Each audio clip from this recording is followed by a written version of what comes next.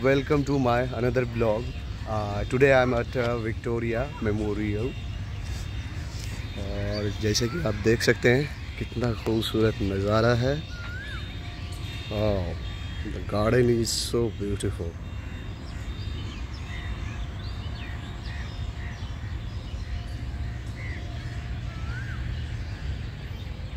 ये सामने है ये ये विक्टोरिया मेमोरियल म्यूज़ियम अभी ये खुली नहीं है, ये दस बजे ओपन होती है, इसलिए आई हैव टू वेट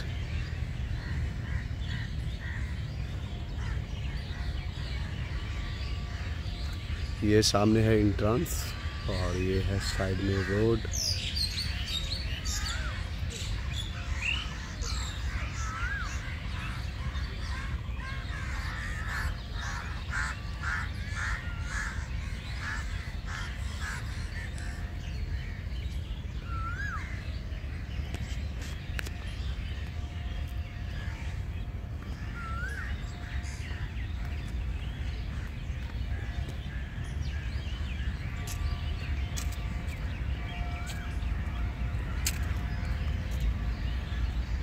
ये छोटा सा पॉन्ड है।